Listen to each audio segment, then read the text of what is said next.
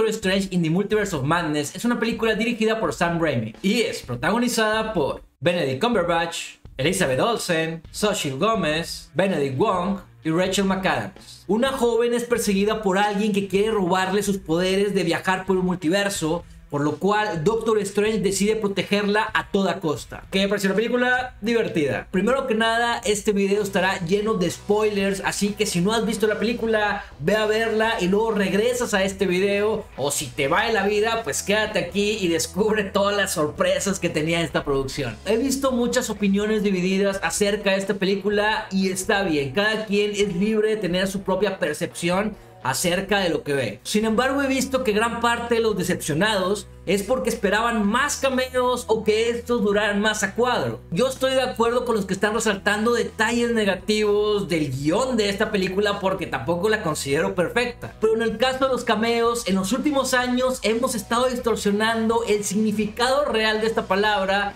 donde solo es una aparición breve de algún personaje o celebridad. Antes hasta era más como buscando a Wally, donde estaba el cameo en el fondo y te das cuenta de él hasta que lo veías en otro lugar y te enterabas por alguien más. Ahora queremos que los cameos sean protagonistas de películas que no se tratan de ellos. El mismo problema vi cuando salió la Justice League al final de la temporada de Peacemaker. para mí fue genial el solo pensar que ahí andan esos personajes, pero para otros querían que estuvieran ahí todos los actores y que tal cual tuvieran media hora peleando, aunque la serie pues no es de ellos, solo es algo divertido dentro de esta producción el saber que ahí andan. En el caso de No Way Home, Tobey Maguire y Andrew Garfield no eran cameos, eran parte del elenco principal de la película. En lo personal, en esta secuela de Doctor Strange, a mí me preocupaba que estuviera atascada de cameos y que esto desviara la atención de la historia central de esta película. Mi hype por esta película no era por el multiverso, los cameos, sino que empieza desde el momento que anuncian una secuela de Doctor Strange. Porque me gusta mucho este personaje, porque me gusta mucho Benedict como él y porque me atrae bastante todo este mundo de la De hecho, cuando se anunció que se llamaría Multiverse of Madness, yo pensaba que era de viajar a distintos reinos dentro de este concepto místico y eso también me emocionaba bastante. A diferencia de la mayoría, yo me empecé a preocupar cuando se empezó a escuchar que estaban habiendo cambios en la historia, que iban a integrar más personajes y que Scott Derrickson se salió por distintos problemas creativos con su película. Yo lo que quería era una simple secuela de Doctor Strange, no una película evento o una película puente entre distintas cosas del MCU. Sí que hubiera detalles que se pueden explotar después en otras producciones de Marvel, pero que no se alejaran del personaje principal de la película. Cuando se dijo que estaría Wanda, dije, ok, te acepto que esté ella ahí, pero ojalá que sea una historia más concentrada en ellos dos y no que se desvíe por todos lados. Ya viéndola, aunque sí es medio secuela de Doctor Strange y medio final real de temporada de WandaVision, al menos agradezco que el enfoque sí sean solo ellos dos y no los cameos, porque esta no es una película de los Illuminati es que se llama Doctor Strange in the Multiverse of Madness y solo estuvo como en 3 o 4. Pues sí, Spider-Man Into the Spider-Verse, Miles Morales solo estuvo en el suyo. No estuvo viajando por todos lados. No hay mentiras en su título, sí estuvo viajando por el multiverso, pero ustedes querían más, es diferente. Pero regresando a los Illuminati, sé que muchos están muy molestos por la forma en cómo los vencieron. Pero primero hay que tener en cuenta que estos no son nuestros personajes, son variantes de los que próximamente serán los centrales del MCU. Para mí fue un anuncio de mira, ya hay X-Men en el multiverso del MCU. En algún punto los vamos a hacer parte de nuestra línea principal con el posible regreso de algunos de los actores originales. Cosa que ya he estado diciendo por mucho tiempo. Mi teoría de la de la línea o el universo híbrido. Que hablando de actores, aquí mismo nos muestran que hicieron realidad nuestro sueño húmedo de poner a John Krasinski como Mr. Fantastic. Sinceramente, este fue el momento que me hizo gritar en la sala del cine. el ver cómo pasó John de Fancas a algo real. Para mí fue mm, increíble, mm, increíble, maravilloso, maravilloso, increíble. Y también me pareció algo de locos, no solo volver a ver a Patrick como Xavier, sino verlo con su traje verde, con su silla amarilla y con la música de las caricaturas. Pensé que eso ya nunca iba a pasar en el cine y no lo estamos apreciando. Y si me hubiera gustado que no lo pusieran en los trailers porque posiblemente ese momento me hubiera explotado la mente igual o más que Krasinski, pero pues era algo que ya estaba esperando. Incluso creo que hubieran menos decepcionado si tampoco hubieran mencionado la palabra Illuminati en los trailers, porque hubiera sido algo que no se esperaban y lo hubieran apreciado como un simple regalo en la película y no llegar con sus ideas de lo que van a ver y no vieron. Pero aún así yo me emocioné y disfruté mucho de sus interacciones y de sus muertes. Porque perdón, pero a mí sí me encanta ver morir a personajes importantes en las películas y en las series. Y a veces no se atreven a esto, entonces aquí dije, bueno, la ventaja del multiverso, aunque es una salida muy fácil, es que ya puedes hacerlo sin ningún problema y luego te traes una variante y ya, no pasa nada. Mi segunda defensa de la caída de los Illuminati es que sí, Scarlet Witch es así de poderosa. Ya todos sabemos que ha eliminado a los mutantes en los cómics con tres palabras. Pero sí acepto que estuvo absurdo que Reed anunciara el poder de Black Bolt antes de que lo hiciera.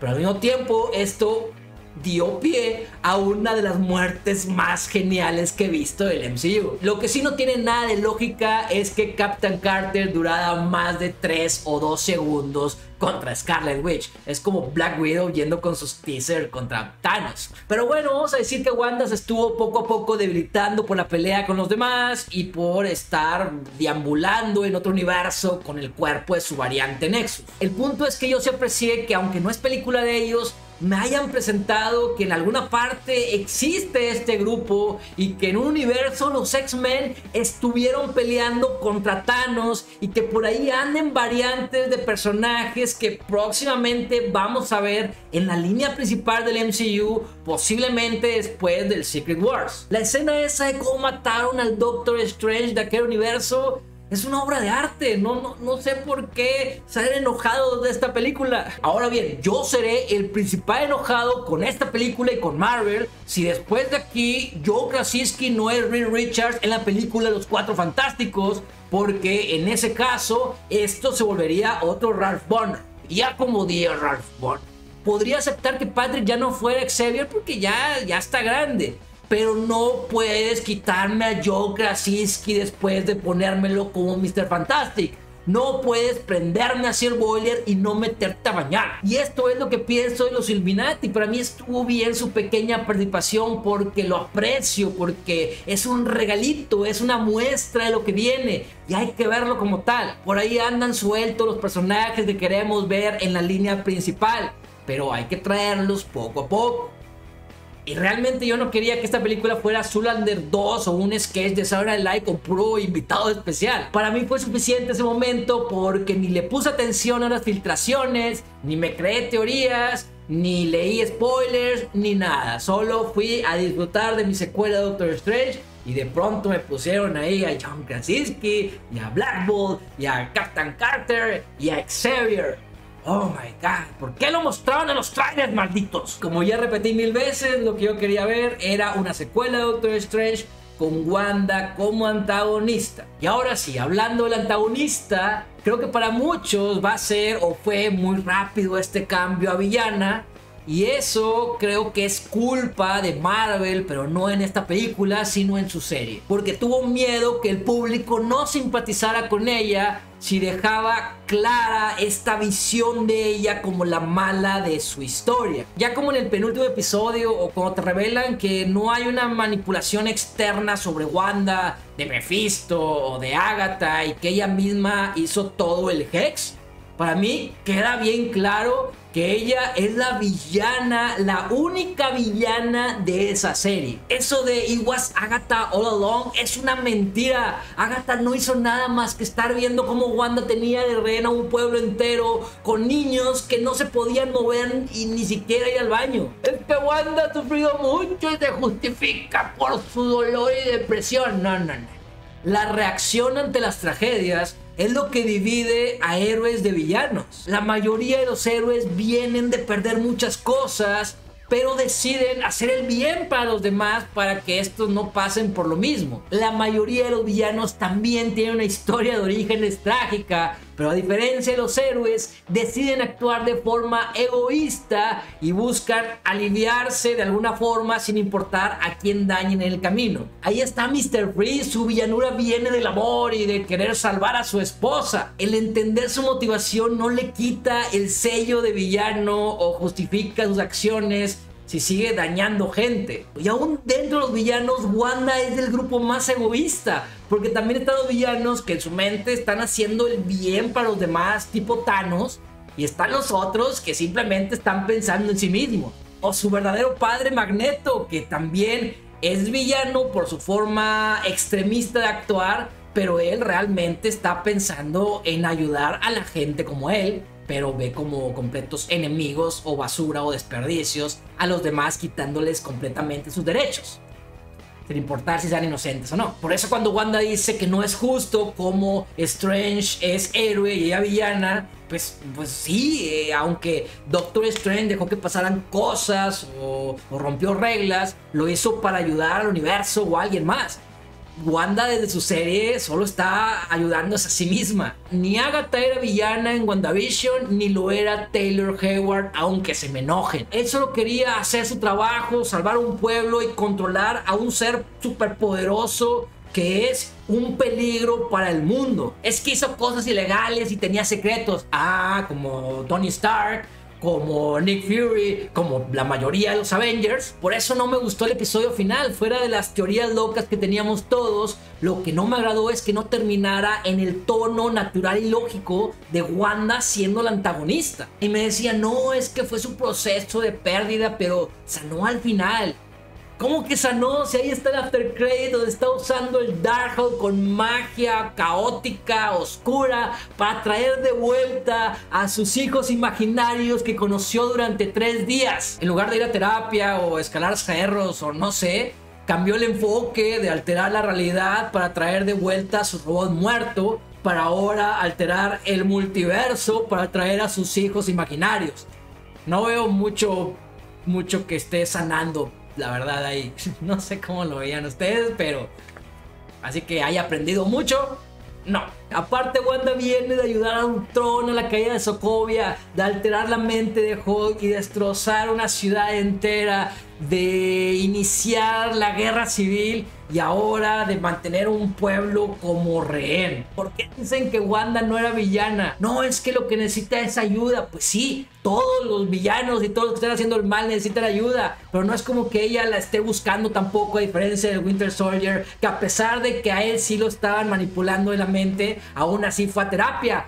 Wanda sigue y sigue y sigue y sigue. Necesitaba ser detenida y necesitaba tener consecuencias a sus actos. Perdón, pero tenía mucho que desahogarme respecto a este tema porque antes de la película, todo este tiempo me estuve peleando en internet acerca de esto y me tachaban de loco. De hecho, más que como loco, me tachaban de hater. Como que creen que el aceptar que es villana ya no te permite ser fan del personaje, pero pues ese no es el caso. Siempre he sido fan de Batman y siempre he sido fan del Joker. No pasa nada por aceptar que no está bien las cosas que hace un personaje que te gusta. Al contrario, disfruta de todo el caos que este crea. Y ya soltando a Elizabeth Olsen como Scarlet Witch villana, es maravillosa es, de lo mejor que tiene la película. Entonces a mí sí me gustó que no perdieran el tiempo poniéndome a Wanda como buena 20 o 30 minutos, que construyéndome el por qué la hora es villana, sino entrar de lleno de que esta es la mala y mira qué mala.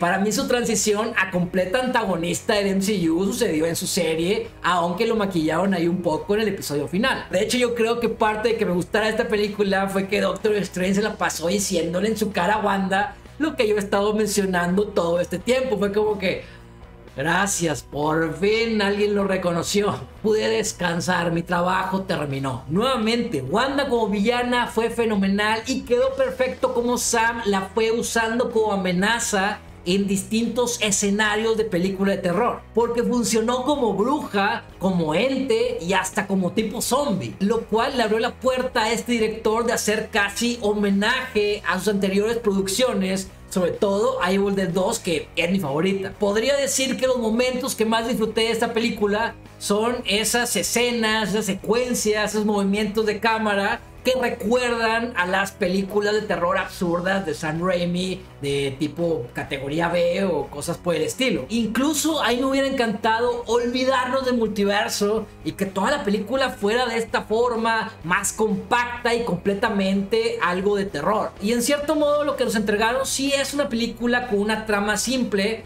pero no es algo que a me molestara. Como ya mencioné, yo aprecié esto. Hasta me hubiera gustado que todavía fuera más pequeña. Pero entiendo como a muchos que esperaban un evento con miles de cameos pues esto no les va a gustar. Como ya mencioné, me encanta Betty Cumberbatch como Doctor Strange y al igual que Elizabeth Olsen, creo que fue fantástico y maravilloso en esta película con cada interpretación que tuvo en cada variante que le tocó hacer aquí. Como personaje me gustó que ya fuera full superhero, lanzándose el edificio a salvar la ciudad, cómo ha evolucionado su poder, el conocimiento que ha adquirido y cómo enfrenta los conflictos que se le presentan. Hay momentos que no me encantó el CGI, pero aún así me pareció muy atractivas todas las peleas mágicas, sobre todo la musical y la del zombie Doctor Strange con la capa de espíritus. ¿Qué más cool se puede ser? Y aunque América Chávez es el McGuffin para poder viajar por el multiverso,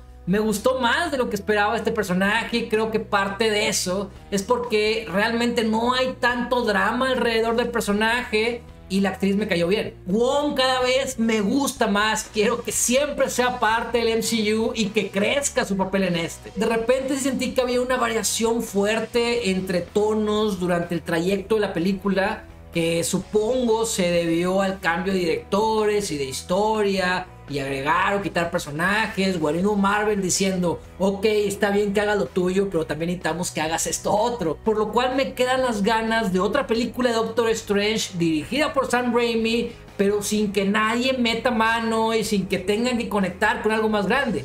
Que solo sea una aventura de terror de Doctor Strange escrita y dirigida por Sam. Que también siento que gran parte del descontento con esta película es que se está esperando o se esperaba una mayor conexión con lo que sigue del MCU. La verdad es que el fandom está algo inquieto queriendo saber hacia dónde vamos. Y por esto exigimos más revelaciones en las películas y series sin a veces poder tal cual disfrutar la historia que estamos viendo en ese momento. Lo dije en Twitter, aunque es posible que todo esto vaya hacia Secret Wars, no es algo que la mayoría conozca ni es algo que se haya anunciado de forma oficial. Y es la primera vez desde que existe el MCU que estamos viendo cosas sin que nos hayan mencionado tal cual el trayecto hacia dónde vamos. Porque desde el After Credits de Iron Man nos dijeron que íbamos hacia la creación de los Avengers. Íbamos a ver una película de cada uno de los personajes y luego la culminación en ese evento. Cuando llega esta producción, en el After Credits nos dejan en claro que el camino es hacia luchar contra Thanos y anuncian Avengers contra Ultron y esto y el otro y van poniendo las gemas y vamos completamente sabiendo con los ojos abiertos a qué punto va todo lo que estamos viendo. De forma oficial, sin teoría, sin que vatos de YouTube nos estén diciendo, no es que Mephisto, no es que Secret Wars, no, no, no. Tal cual Marvel nos dice cuál es el camino, cuál es la siguiente película, el siguiente evento y cuándo vamos a ver la lucha infinita. Pero desde que se estrenó Endgame ya hace tres años, no hay un anuncio oficial de parte de Marvel de cuál sea la siguiente gran amenaza hacia la que vamos o la fecha de la siguiente película evento tipo Avengers. Por lo cual la raza quiere que cada una de estas películas sea una película tipo evento en lugar de una simple secuela. O que al menos revele ya tal cual el objetivo de todo. Porque también así como cambió la historia por lo cual salió Scott Derrickson de esta película de Doctor Strange in the Multiverse of Madness, Marvel ha ido un poco improvisando y cambiando ahí las cosas entre que esto y lo otro y la serie y el multiverso y Sony y demás. Por lo cual creo que eso del anuncio de que Kevin se iba a ir a un retiro con su equipo es parte para ya ver bien y estructurar el siguiente paso y el plan hacia algo concreto. Pero bueno, yo creo que hay que tener un poquito de paciencia y poder disfrutar de estas películas por lo que son y no por lo que queremos que representen para el futuro. Porque realmente se está volviendo algo complicada la experiencia del MCU con tantas cartas al aire, con la incertidumbre y con las expectativas. Para nada creo que esta sea una película perfecta pero yo la disfruté. Me divertí con ella y con su tono tipo Evil Dead, que dentro de los parámetros de Marvel del MCU tiene de las muertes más densas que hay aquí. Me gustó que hemos llegado a un punto donde ya todo es posible dentro del cast y dentro de los personajes que pueden salir o regresar a una película. Y sobre todo agradecí que ya por fin soltaran a Wanda con todo su potencial como villano. Si hay cosas chafas en el guion o momentos muy convenientes, pero pasé un buen rato viéndola y aprecié que se haga diferenciar entre otras películas de este universo. Ahora lo que tengo curiosidad es cómo van a utilizar a Wanda en el futuro si deciden hacerlo. Porque ya te presenta un problema tipo Goku donde necesitas traer a alguien extremadamente poderoso para justificar que la pelea no termine en 3 segundos o traerte la variante con sus hijos. No sé qué, es lo que vayan a hacer, pero no siento que vayan a quedar vaya a quedar olvidado este personaje y ya no vaya a salir en ningún momento. ¿Ustedes qué creen que pase? Digo, la pelea que sería genial sería que se desate Jean Grey, Dark Phoenix otra vez, pero ahora bien hecho. Y que Scarlet Witch se sacrificara peleando con ella y así tenga un tipo de redención. Porque también esta Wanda ya no tiene redención completa en este universo. Ya hizo demasiadas cosas malas para que vuelva a ser parte de los Avengers o como un tipo de heroína. Mi calificación es 3,5 geeks de 5. Estás muy chavo si no supiste quién era este del cameo. Pero a ti qué te pareció esta película? Dime si te gustó o si no te gustó. Y ya que estás en eso, no olvides suscribirte a mi canal para que no te pierdas nuevos reviews. Así como seguirme en todas mis redes sociales donde solo hablo películas, series y cosas geeks. Muchas gracias por su atención. Nos vemos la próxima función.